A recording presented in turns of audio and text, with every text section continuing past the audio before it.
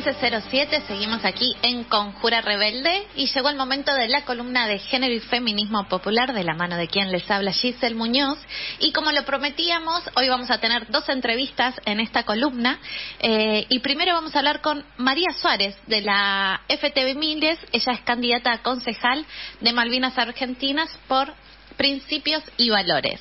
Hola Mari. Hola, ¿qué tal? Buenas tardes, ¿cómo están? Muy bien, Mari, por suerte, ¿vos? Bien, bien, bien. Bueno, bueno, Mari, contanos un poco cómo viene la campaña eh, ahí en Malvinas, Argentina, ya últimos días previos a las elecciones. Y dentro de todo, bastante bien. Eh, a Moreno lo están viendo bien. Yo recién estoy hablando con algunas personas que me dicen que le gusta Moreno porque es el único peronista puro que quedó y bueno, nada, eh, o sea, se está viendo bien, bastante bien. Esperemos hacer una buena campaña, ¿no?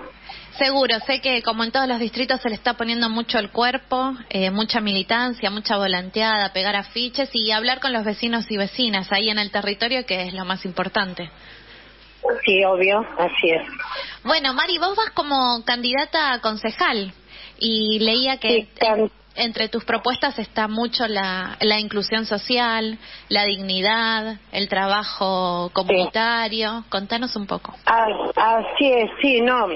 En realidad, eh, la verdad sí se ve mucho y lo que pide mucho el vecino es la seguridad que no la tenemos en Malvina. En Malvina se ven muchas cosas de parte del municipio pero todo lo que hacen es para beneficio de ellos o porque en realidad todos los fines de semana, feriados, es una fiesta de cualquier cosa y el dinero va todo invertido ahí, pero no en la salud, ni en la seguridad, ni en la educación, nada, redes en muchos lugares. Eh, sí, agradecidos de que hizo más vereda, más asfalto, más plaza, polideportivos que no había pero hay que pensar un poco más en la salud, en la educación, ¿sí? que el sueldo del trabajador sea un poquito mejor, más lino. Empecemos por el trabajador municipal, me refiero, que es el que menos gana, ¿sí? Y bueno, y después eh, mucho se utiliza al trabajador de potenciar para que hagan campaña, eh, se los usa más de la hora convenida. Entonces, eso es algo que nosotros como organizaciones lo vemos mal. Claro. Eh, ¿sí?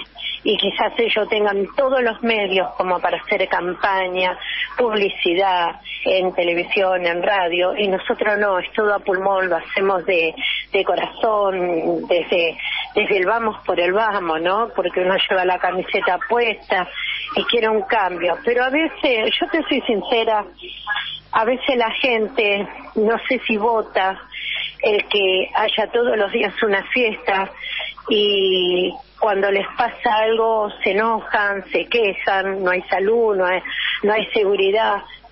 Pero yo pienso que la gente hoy en adelante tiene que cambiar también algunos ideales y pensar a conciencia, ¿sí? pensar que tiene que surgir otra cosa, algo que nos dignifique a todos, que todos podamos estar mejor, que podamos dejarle a nuestros hijos, a, nuestros nietos, un nuevo futuro, una nueva vida, una nueva esperanza, ¿sí? Y no esto que estamos viviendo ahora todos. Yo mañana ya no, no estaré, pero yo no quiero que esto le quede a, mí, a mis hijos o a mis nietos, ¿sí?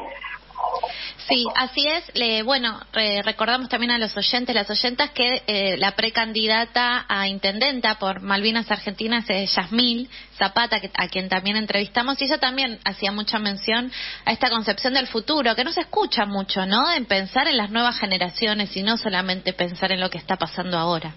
Digo, ¿qué, qué futuro eh. y qué propuesta le estamos dejando a las nuevas generaciones?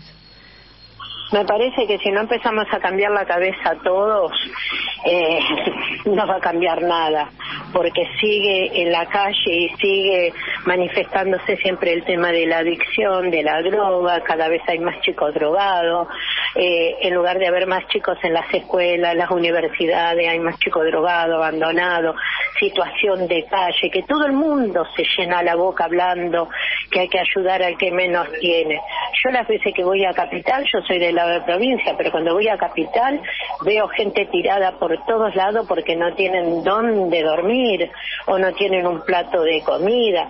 Entonces esas cosas duelen, ¿viste? Duelen muchísimo porque porque vos ves y escuchás que te están hablando de un cambio, perdón, no, no digo el cambio por el macrismo, no, digo el cambio porque quieren cambiar las cosas, hablan del que menos tienen y te juro que yo a veces siento que usan usan la desgracia ajena para militar, porque si realmente quieres cambiar, empezá a cambiar por esa gente, empezá a darles un refugio, algo donde tengan donde dormir, empezá por darle trabajo, que sean dignos, no, porque no son animales, ni siquiera los animales viven como viven esa gente, ¿sí?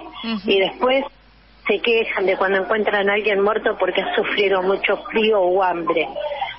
Entonces, yo pienso que si el político está porque lo votó la gente, tiene que estar para luchar y pelear para el pueblo, ¿sí? Porque por algo el pueblo te está votando y te pone en el lugar que estás, no para que te llene los bolsillos a costilla del que menos tiene.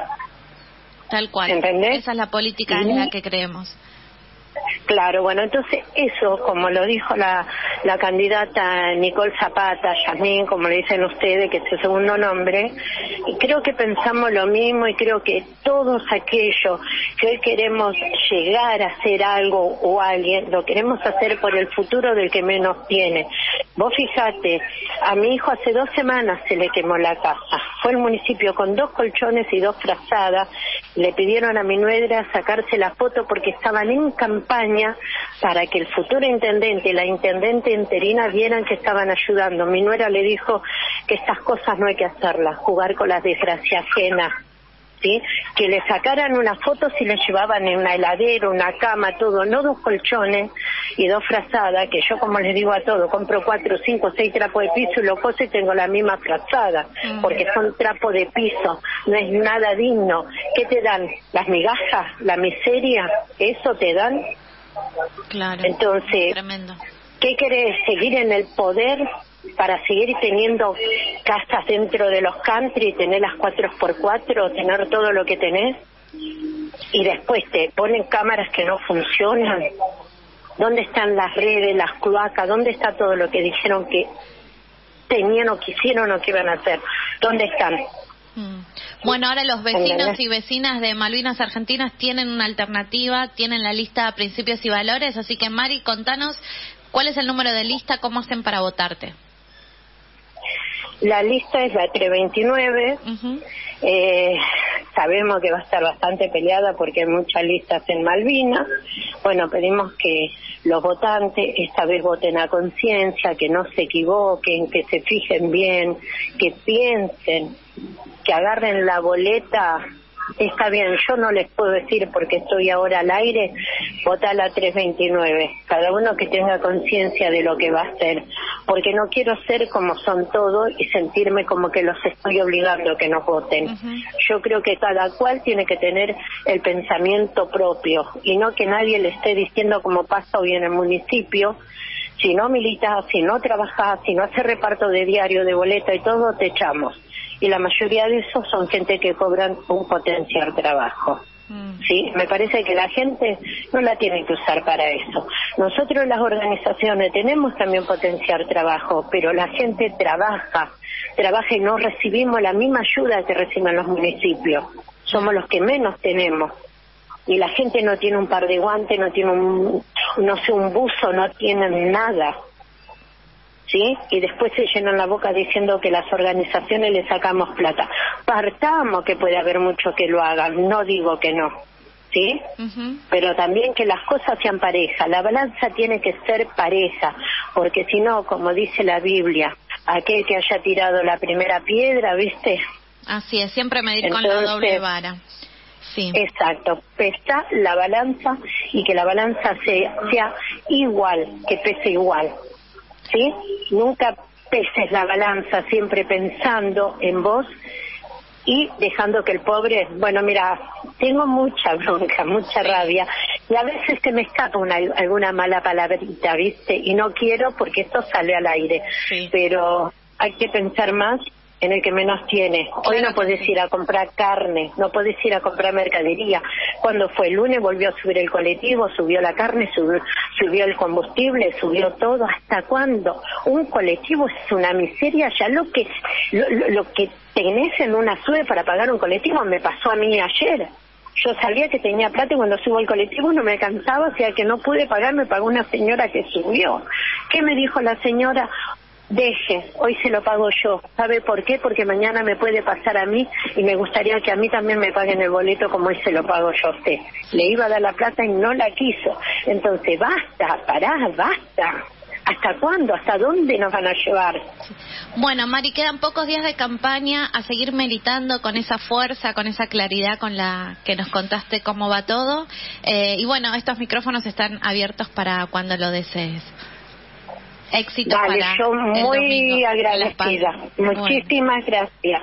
Muchísimas gracias, y lo mismo le deseo a todos los compañeros eh, de principios y valores. Sé que mucho, todo lo que hacemos lo hacemos a pulmón porque nosotros no tenemos los medios que tienen muchos para pagar medios televisivos, para pagar afiches, para pagar gente que vayan a hacer pegatinas. Nosotros lo hacemos todo nosotros. Desde las y desde el pulmón. más valioso. ¿Sí? Lo hacemos desde el pulmón, así que bueno, espero, saludo a todos los compañeros que nos estén escuchando, los felicito a, todos. Gracias, María. Gracias, que tengan muy buenas tardes y buenas tardes a la audiencia. Gracias. Un abrazo. Hasta luego, chao, chao. Ahí pasaba María Suárez de la FTV Miles, candidata a concejal de Malvinas Argentinas.